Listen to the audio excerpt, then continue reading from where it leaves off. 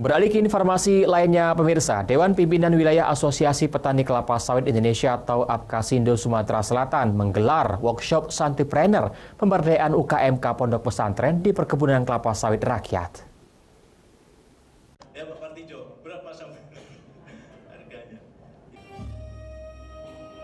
Gelaran workshop dimaksudkan sebagai Santripreneur UKMK merupakan kolaborasi untuk pemberdayaan pesantren dan industri kelapa sawit di Indonesia. Sektor sawit merupakan kombinasi penting karena sawit merupakan komoditas penting bagi Indonesia.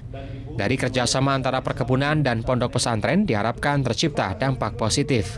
Kegiatan ini dibuka oleh Wakil Gubernur Sumatera Selatan Mawardi Yahya yang menyambut inisiatif Apkasindo untuk memberikan peluang kepada pondok pesantren juga kepada petani kelapa sawit.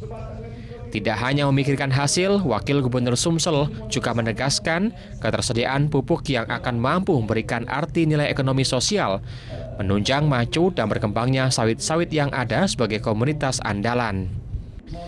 Kegiatan ini dilaksanakan untuk mengenalkan sawit dengan tujuan meningkatkan kemitraan dengan berbagai pihak dari hulu hingga hilir melalui program pengembangan Santipreneur berbasis usaha kecil menengah dan koperasi UKMK bidang kelapa sawit.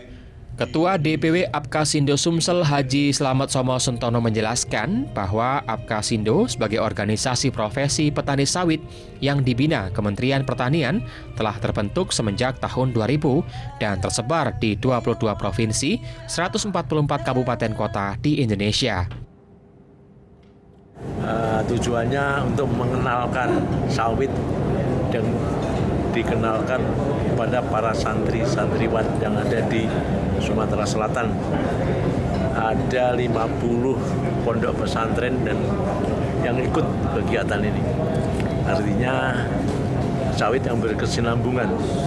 Tentunya para santri-santri itu kita kenalkan dan tentunya bisa bermanfaat untuk pesantren. Harapannya supaya pengusaha-pengusaha sawit ini akan memberikan kontribusinya yaitu terhadap santri-santri atau lingkungan-lingkungan pondok pesantren yang ada di perkebunannya.